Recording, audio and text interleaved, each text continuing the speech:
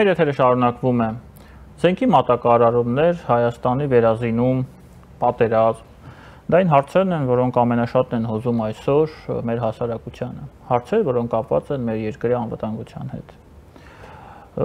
Վերջերս մենք տեսնում ենք, որ մեր ղեկավարությունը վերջապես սկսել է որոշակի քայլեր անել, որպեսզի այս խնդիրները ստանան իրենց գոնե մասնակի լուծումը, որովհետև իրականում պատկերը շատ ավելի լայն է, ես բազմիցս եմ այդ մասին խոսել եւ անվտանգության ապահովումը իր մեջ ունի բազմաթիվ կոմպոնենտներ, հա, եւ վեկտորներ։ Այսօր մենք խոսելու ենք մեկ այդպիսի վեկտորների մասին, դա բանակի վերազինումն է, դա գնումներն են, սպառազինության գնումներն են, եւ մենք քննարկելու ենք այս հարցերը ռազմական փորձագետ Կարեն Հովանիսյանի հետ։ Բարև ձեզ, պարոն Հովանիսյան։ Բարև ձեզ։ Շնորհակալ եմ, որ եկել եք մեզ մոտ։ Շնորհակալ եմ։ Պարոն Հովանիսյան, հնչեց այսպեսի մի կարծիք, որ Ֆրանսիան պատրաստ է փակել կամ արդեն փակել է, միգուցե սխալվում եմ, մեր օթը։ Որքանով է այս հայտարարությունը իրատեսական։ Գիտեք, իրականում օդ փակելը բավականին դժվար բան է եւ աշխարհում չկա որևէ մի երկիր, որ կարողանում է իր օդը փակել, այսինքն անանցանելի դարձնել, այսպես ասեմ, Իսրայելը, ով հայտնի էր իր հա օդի անխոցելիությամբ, այնուամենայնիվ այնպես ստացվեց, որ գազայի հատվածից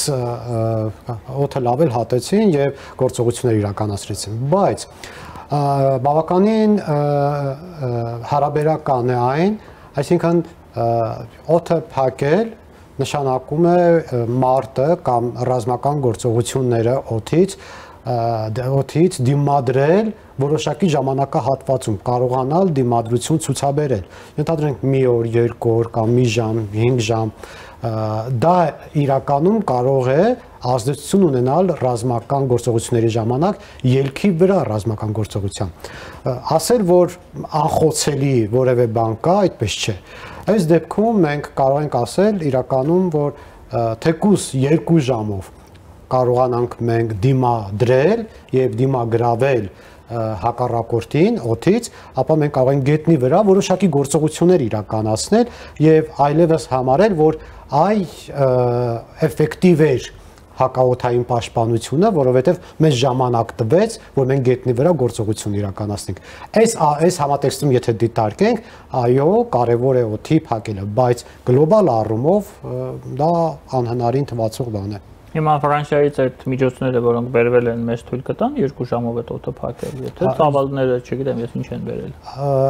Գիտեք, նորից եմ ասում, ինքը հարաբերական է եւ չի կարելի միանշանակ պնդել ու ասել այո կարող ենք եւ միանշանակ պնդել ասել ոչ չեն կարող։ Այնուամենայնիվ ռազմական գործողությունների ցանկացած զենք զինամթերք եւ պաշտպանության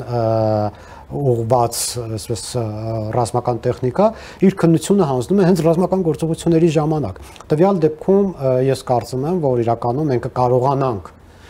որոշակի առաջադրանք եւ որոշակի խնդիր կատարել եւ կարծում եմ, որ իրականում այն մեզ պետք է։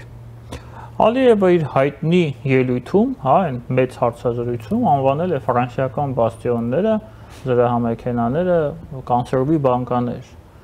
Ընդհանուր առմամբ ֆրանսիական զենքը, այդ թվում նաև այն զինատեսակները, որոնք արդեն մատակարարվել են Հայաստան, եւ չգիտեմ ինչ պետք է մատակարարվի, դուք երևի ավելի լավ գիտեք,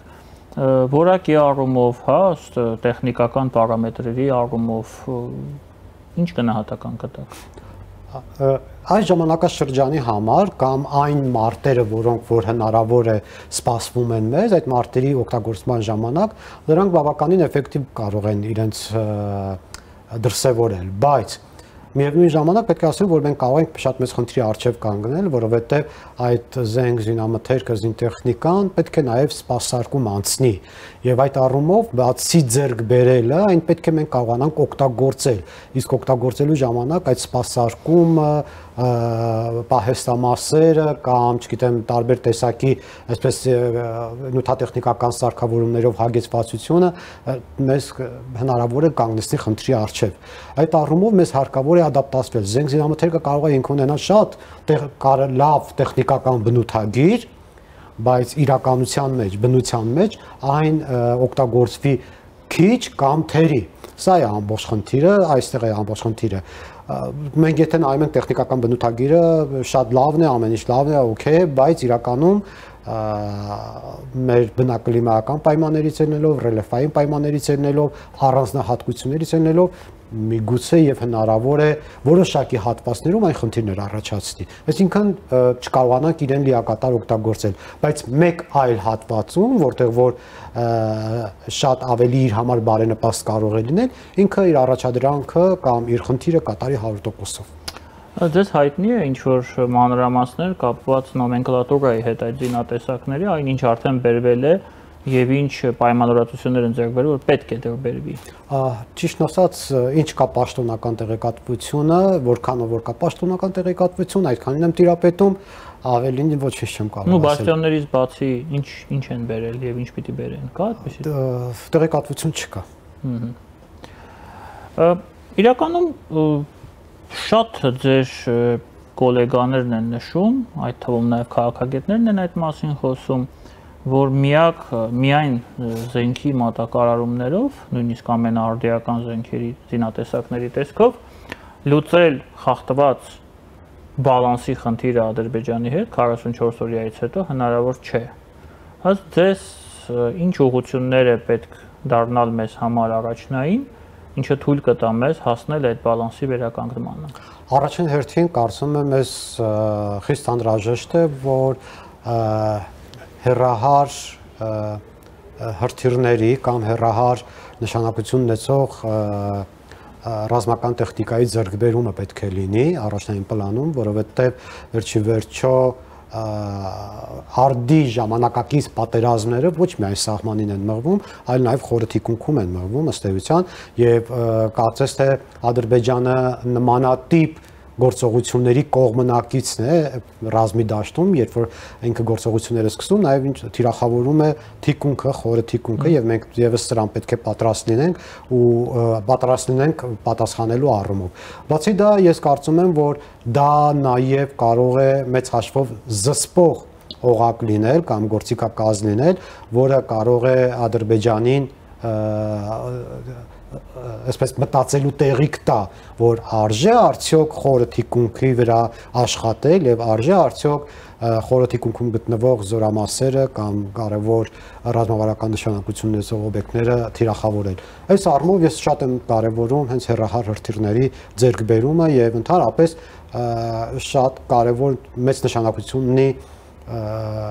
ռազմական առումով, մարտավարական առումով այս հրթիռների արկայությունը մեր զինանոցում։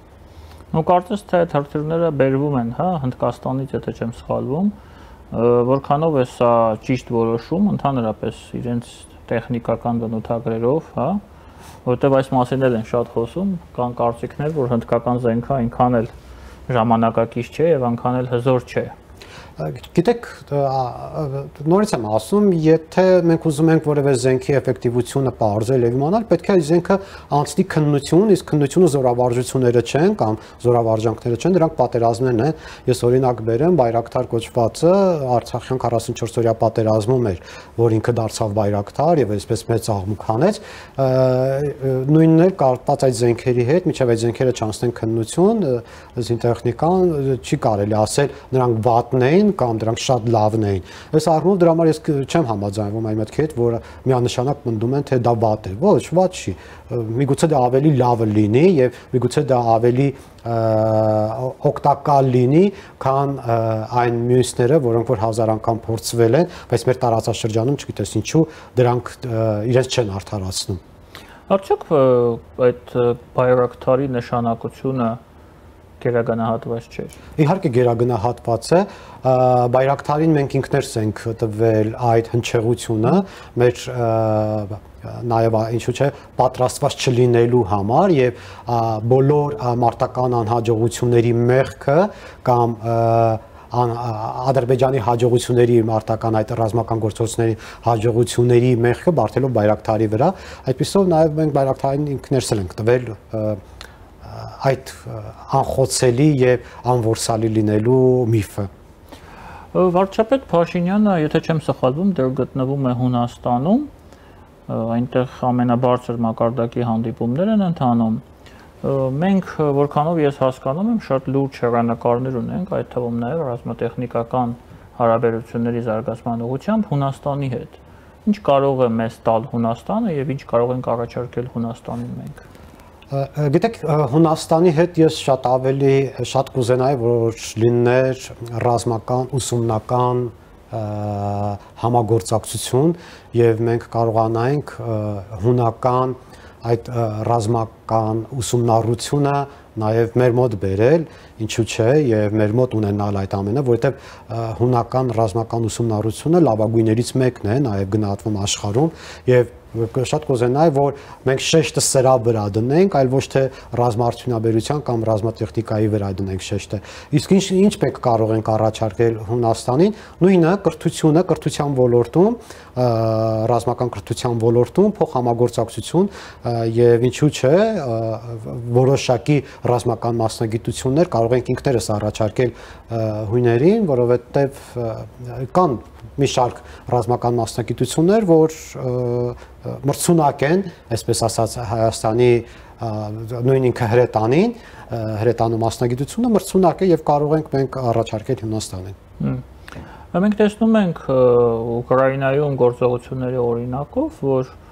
Իրանը ունի բավականին զարգացած ռազմաարդյունաբերություն, որտեղ Իրանը մատակարարումներ է իրականացնում ռուսական բանակի համար, Որքանով ես գիտեմ, որքանով ինձ հայտնի է, Հայաստանը այդպիսի հարաբերություններ Իրանի հետ չունի։ Ինչն է պատճառը, որտեղ է խնդիրը։ Առաջին հերթին Հայաստանը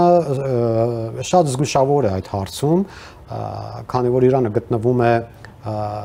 պատժամիջոցների տակ, սանկցիաների տակ, բավականին զգուշավոր է մոտիկանում այդ հարցին, բայց միևնույն ժամանակ պետք է Հայաստանը բոլորի հետ նաև པարս եւ հստակ խոսի, որ առաջին հերթին կարևոր է Հայաստանի Հանրապետության սուվերեն անվտանգությունը կամ սուվերեն տարածքի պաշտպանությունը եւ այդ առումով պետք է ըստ էության ելնելով աշխարհակաղակական կամ աշխարհագրական դիրքից նաև համագործակցի իր անվտանգության համար համագործակցի Իրանի հետ։ Միակ պատճառը ես կարծում եմ դա այն է, որ աշխարհը կամ արևմուտքը Եվրոպան չեն ընդունում Իրանին եւ պատժամիջոցների տակ է Հայաստանը զգուշավոր է այդ հարցում դրա համար այդքան չի գնում Իրանի հետ ռազմավարական համագործակցության ինչը իմ կարծիքով մեր բարագայում այդքան է տեղին չէ 23 թվականի տվյալներով ստատիստիկայի համաձայն տարվա ընթացքում մեր մարտական կորուստները մի քանի անգամ ավելի նվազային, ավելի քիչ էին, քան քան ոչ մարտականը։ Եվ 3 փաստորեն 3-ս 2 օր առաջ ծառայողներից մեկը դիրքերում իր համածառայակցին գնդա գնդացրից սպանել է։ Սա տեղի ունենում հայկական բանակում։ Ինչը այն չէ մեր բանակում, ինչը բերում է այս իրավիճակին, այս սա անվերջանալի ինչ որ մղձավանջ է, հա, թեմա է, այդ մասին շատ է խոսվում, բայց կարծես թե լուծումներ չկան։ Այս թեմայով երբ որ խոսում ենք, շատ ժամանակ հասարակության ենք մեղադրում, եւ որովհետեւ ասում ենք հասարակությունը ինչպիսին է, այնպիսին էլ բանակները, բանակում են իրենց դրսևորում, բայց այստեղ շատ կարեւոր է նորակոչիկների, թե նորակոչիկները որտեղ են անցնում պատրաստությունը եւ ինչպիսի պայմաններում են իրենք անցնում այդ պատրաստությունը։ Պայմանները անցելով ես նկատի չունեմ կենցաղային պայմանները, այլ նկատի ունեմ հենց բարոյահոգեբանական, գաղափարական պայմանները, թե ինչպիսի պայմաններում եւ ինչպիսի զորամասերում են դրանք անցնում։ Գիտեք, խորթային բանակից մնացած մնացուկները, այսպես ասեմ, բնութագրեմ, թույլ են տալիս, որ սպայական որոշ կազմի, որ ժամկետային զինծառայողների մեջից ընտրել իրենց համար ավելի հեղինակավոր մեկին, ում խոսքը որ ժամկետային զինծառայողների մոտ անցնում է, եւ նրանից կերտել կերպար, որը որ կազդի ժամկետային զինծառայողների վրա ազդեցություն կունենա նրանց վրա եւ այդպիսով սկսում է ձևավորվել այդ քրեական ենթամշակույթ կոչված է, ինչը որ շատ ցավալի է եւ որը որ գոյություն չպետք է ունենա։ Հենց դրան պետք է գա փոխարինելու սերժանտական ինստիտուտը, երբ որ սերժանտները շատ ավելի մեծ շատ ավելի մեծ համբավ ունեն, շատ ավելի մեծ ազդեցություն ունեն ժամկետային զինծառայողների վրա։ Մեր մոտ այդ այս խնդիրը մնալու է այնքան ժամանակ, քանի դեռ կա այն այն մտածելակերպը, որ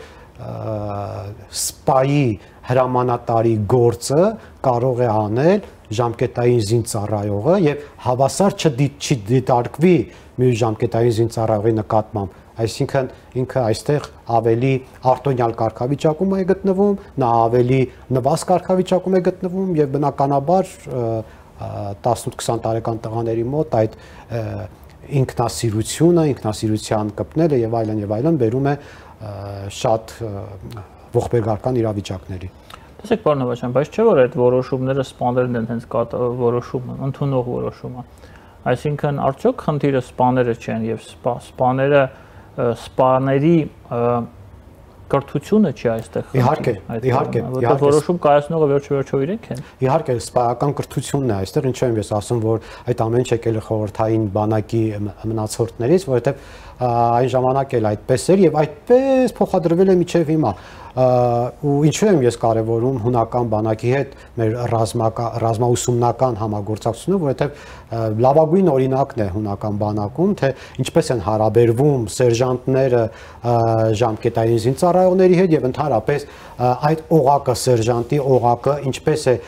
ժամկետային զինծառայող եւ սպայական կազմի հետ հարաբերվում եւ այստեղ կարեւոր է սպայական կազմի նաեւ կրթությունը եւ այստեղ պետք է մենք շեշտը ոչ թե միայն դնենք սպայական կազմի մասնագիտական կրթության վրա, այլ նաև հոգեբանական կրթության վրա, որովհետև կարևոր է որ ստապանը նախ եւ առաջ հոգեբան լինի եւ իր արժեվ կանգնող եւ չխոսող միայն զինվորական հարցու պատասխանի ժամանակ կարճ հարցու պատասխան ստացող զինվորից ինքը հասկանա թե ով է իր դեմը կանգնած վերջի վերջո պոտենցիալ հանցագործ մարդասպան ում ձերքին կընկնի զենք եւ սպանի մարդու թե ընդհանրապես կամային հատկություններ ունեցող ինչ որ մեկը Տեսեք, պարոն Հովանեսյան, կարծես թե մեզ մոտ դիվերսիֆիկացիա է գնում զենքի գնման ուղությամբ, հա, տարբեր երկրներից ենք սկսում գնել, բայց չէ որ մեր բանակում դեռ կան շատ զինատեսակներ սովետական արտադրությամբ, ռուսական արտադրությամբ, արդյոք մենք չենք կարող այսօր խնդիր ունենալ նրանց այդ մատակարարումների հետ կապված։ Կարող ենք ունենալ խնդիր, քանի որ իրականում դա ամենամեծ խնդրեմն է այսօր մեզ համար, եթե մենք փորձում ենք այս ժամանակահատվածում, երբ որ իրականում գտնվում ենք պատերազմական կամ նախապատերազմական իրավիճակներում եւ անընդհատ հայտնվում ենք այն վիճակում, որ ուր որ է պատերազմը կսկսվի,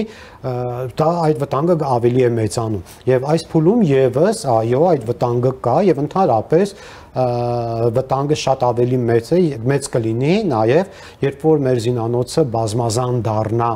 եւ անընդհատ մենք չկողնորոշվենք թե մենք կոնկրետ ինչ ենք ուզում մի բան բերենք Ֆրանսիայից մի բան բերենք Ռուսաստանից կամ մի բան բերենք Հունաստանից եւ դրանց համագործակցությունը զենք զինամթերքի այսպես բնության մեջ համագործակցությունը ոչ ներդաշնակ լինի այստեղ եւս մենք մեծ խնդիր ենք ունենալու դրա համար վերջի վերջո պետք է մենք հասկանանք թե կոնկրետ ռազմաարդյունաբերության ոլորտում կամ ռազմական տեխնիկա ձեռք բերելու ոլորտում ում հետ ենք համագործակցում եւ ինչ ժամանակահատվածում ենք համագործակցում Ինչ միայն մնում է հույս հայտնել, որ դա մեզ մոտ կստացվի։ Շնորհակալ եմ ձեզ, պարոն Հովանեսյան։ Շնորհակալ եմ։